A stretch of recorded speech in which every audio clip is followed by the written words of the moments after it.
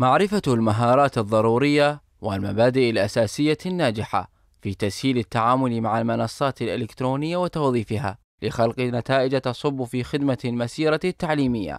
هو ما تسعى إليه العتبة العباسية المقدسة من خلال فعاليات ملتقى التقنية من أجل كربلاء الذي تنظمه بالتعاون مع مديرية تربية كربلاء المقدسة. وضعت وزارة التربية خطة تعليمية حسب آه، جائحة كورونا وتحاول للحفاظ على سلامة آه، الطلبة في العراق. آه، وهذه الخطة طبعا هي عن طريق التعليم الإلكتروني اللي تحاول إيصاله لكل مناطق العراق. تعاون مستمر بين المديرية العامة للتربية محافظة كربلاء المقدسة والعتبة العباسية في مختلف المجالات. وعندما وجدنا هنالك ضرورة إلى آه، عقد مؤتمر في هذا الظرف الصعب. المؤتمر البحثي في استخدام الجانب الإلكتروني.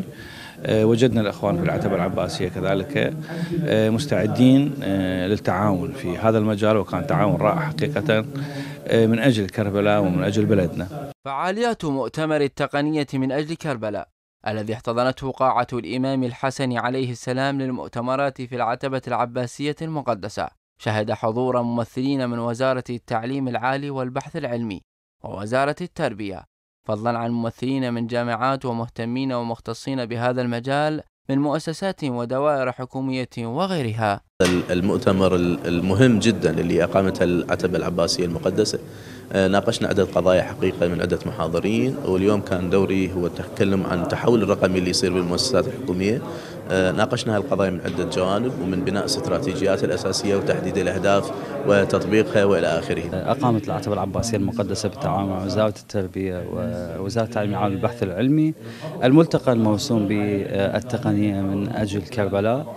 وها نحن اليوم آه، سوف يتم إن شاء الله خلال هذا الملتقى آه، فتح فرشة متكاملة لكيفية التواصل الإلكتروني لتحقيق الفائدة العلمية والثقافية للطلبة. الشباب وفئة الشباب بجميع بجميع فئاتهم وها نحن اليوم آه، في آه، آه، خلال هذا الملتقى إن شاء الله سوف يتم طرح بحث أو ورقة بحثية بعنوان التواصل استثمار التواصل الرقمي في تحقيق واقامه البرامج الثقافية مشروع فتيل الكفيل نموذجا. العتبة العباسية المطهرة بدعمها ورعايتها مثل هذه الملتقيات تبين حرصها بضرورة الارتقاء بالواقع التعليمي في البلاد وفي كربلاء خصوصا وتقديم الخدمة المثلى للوطن والمواطن إذ بروح الفريق الواحد والعمل الجماعي تتنامى الجهود لتثمر النتائج الطيبة.